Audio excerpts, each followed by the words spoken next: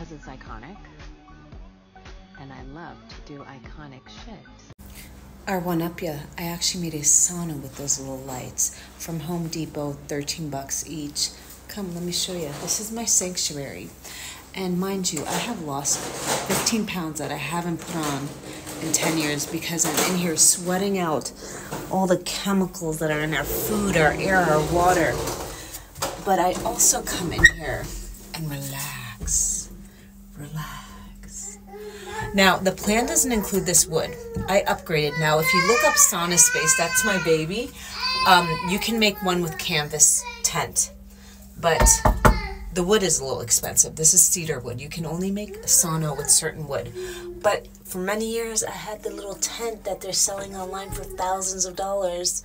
You just add a couple more bucks and you make that little tent. Now, if you have a small closet or bathroom, this is the plan, the fixture. Now, if you want the plan, you know what to do.